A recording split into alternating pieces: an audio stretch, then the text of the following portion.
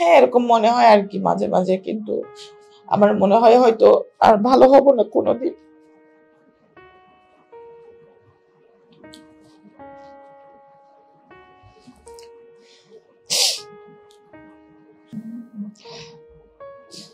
আপনাদের সবার কাছে আমি দোয়া চাই যেন আমি খুব তাড়াতাড়ি সুস্থ হয়ে বাড়ি যেতে পারি, স্বাভাবিক জীবনে ফিরে যেতে পারি। অন্য যে রোগীরা এখান থেকে সুস্থ হয়ে বাড়ি গেছে, আমিও যেন তাদের মতো সুস্থ হয়ে বাড়ি যেতে পারি। আমি অনেক আশা নিয়ে এখানে এসেছি। হিপ জয়েন্টের সমস্যা। পরে আমাকে উনি ঢাকাতে ধানমন্ডি ডক্টর ওনাকে দেখাই দেয়। আমাকে উনি বলছে যে আমার হিপ জয়েন্টে হিপ জয়েন্টটা শুকাই গেছে। তো উনি বলছে যে আপনার হিপে রক্ত চলাচল বন্ধ হয়ে গেছে ওটা আমরা একটা সার্জারি করে দিব। সার্জারি করে দিলে ওটা ঠিক হয়ে যাবে। তো বলছে যে এইটি পার্সেন্ট ঠিক হওয়ার সম্ভাবনা আছে, আবার বিশ বিশ পার্সেন্ট সম্ভাবনা নাও থাকতে পারে। মানে সুস্থ হবেন যে এটা বিশ পার্সেন্ট কম মানে এইটি পার্সেন্ট সুস্থ হয়ে যাবেন। তো ওই সময় আমি সার্জারিটা করাই। আমার দুই পায়ে করাই আমার বাম পায়ে বেশি ছিল ব্যথা। কিন্তু ডান পায়ে ছিল না। তো উনি বলছে যে আপনার ডান পায়েও সমস্যা আছে, কিন্তু ব্যথা নাই, কিন্তু সমস্যাটা আছে, আপনি দুইটাতেই করেন। তো আমাকে তখন দুইটাতেই সার্জারি করে। দুইটাতে সার্জারি করার পরে আমি বাড়িতে চলে আসি। চলে আসার পরে পনেরো দিন পরে একটা দেখা করতে বলে, আমি দেখা করি ওনার সাথে।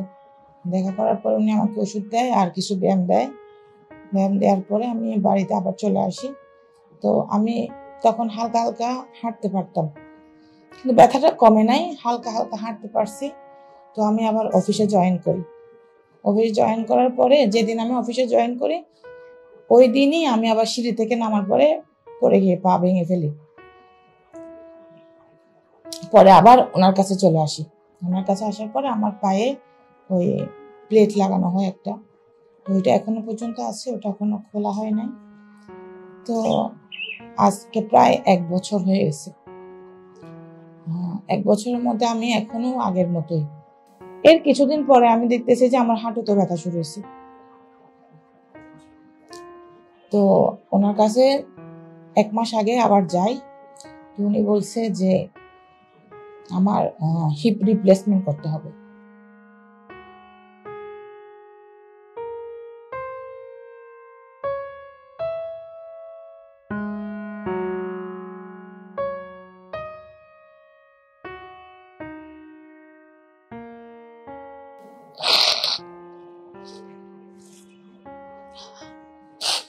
আর আমার পরিবারে সবাই আছে।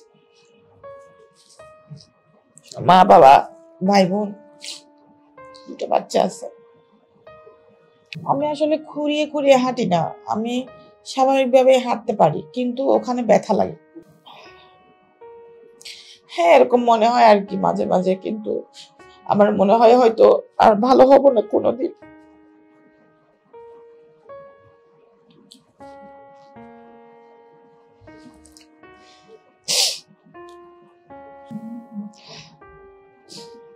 আপনাদের সবার কাছে আমি দোয়া চাই যেন আমি খুব তাড়াতাড়ি সুস্থ হয়ে বাড়ি যেতে পারি, স্বাভাবিক জীবনে ফিরে যেতে পারি।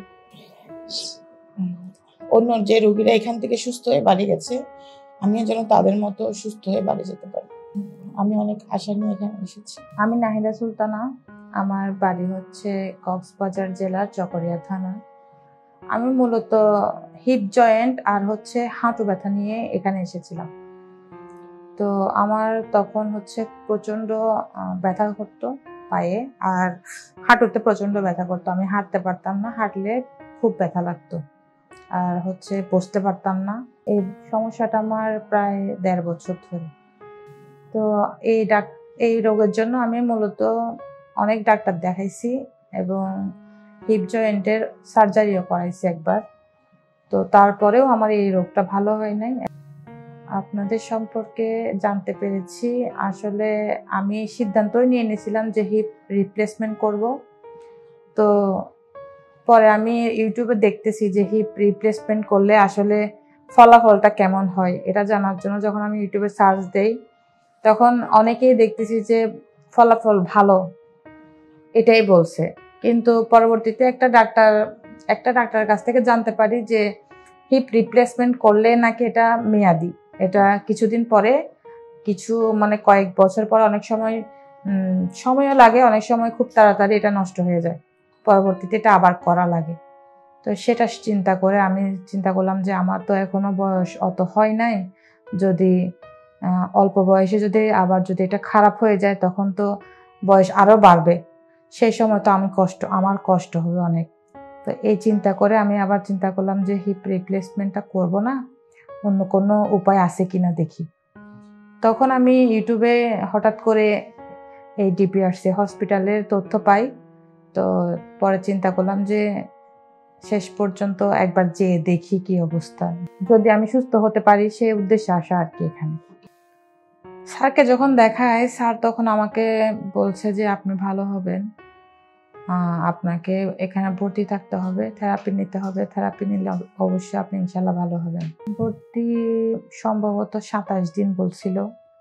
তো আজকে পর্যন্ত বাইশ দিন। আমার আগে যে হাঁটু ব্যথাটা ছিল, ওই ব্যথাটা অনেকটাই কমে গেছে এবং আমি আগে মানে হাঁটলে সোজা হয়ে হাঁটতে পারতাম না। মানে আমার মনে হতো যে আমি হয়তো এক পাশ হয়ে যাচ্ছি মানে হাঁটলেই হয়তো এক পাশে কাত হয়ে যাচ্ছি, এরকম মনে হতো।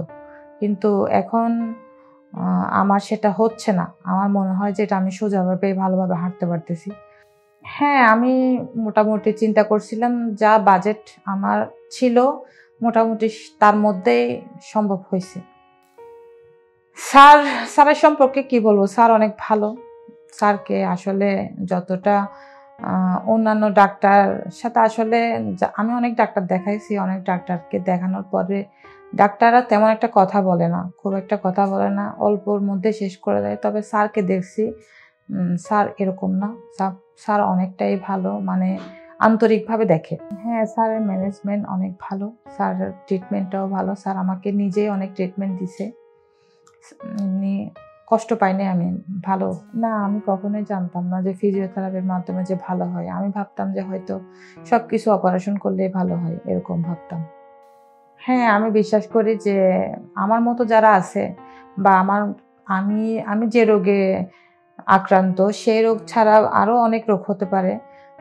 হয়তো এগুলোর চিকিৎসা এখানে আছে। আমি আশা করব যে আমার মতো যারা হয়েছে বা অন্য কোনো সমস্যা যারা আছে, তারাও এখানে এসে দেখতে পারে যে এখানকার চিকিৎসা ব্যবস্থা কেমন। আশা করি সবাই ভালো হবে, সুস্থ থাকবে। যে ফিজিওথেরাপি এখানে যে মেশিনগুলো আছে, অত্যাধুনিক মেশিন, এগুলো হয়তো অন্য জায়গাতে নাও থাকতে পারে, কারণ আমি এগুলা এখানেই প্রথম দেখছি। অন্য কোথাও দেখি নাই। সব মিলে এখানকার উন্নত, চিকিৎসা চিকিৎসা ব্যবস্থা উন্নত, যেগুলা আমি কখনোই দেখি নাই যে এগুলো বাংলাদেশে হয়। মানে এগুলোও যে বাংলাদেশে সম্ভব, এটাই আমার এখানে আসার পরে প্রথম দেখা। আমরা জানি আপনার প্রিয়জন আপনার জন্য কতটা গুরুত্ব বহন করে। প্রপার ডায়াগনোসিস কনসালটেশন পেইন ও প্যারালাইসিস চিকিৎসা পুনর্বাসন আমাদের সব আয়োজনই সবসময় আপনাদের জন্য চব্বিশ ঘণ্টা খোলা। আমরা চাই না আপনারা বারবার আমাদের কাছে ফিরে আসুন তবুও আমরা আছি সব সময় সর্বদা আপনাদের পাশেই। ডিপিআরসি হসপিটাল লিমিটেড আস্থা বিশ্বাস ও নির্ভরতায় অবিচল।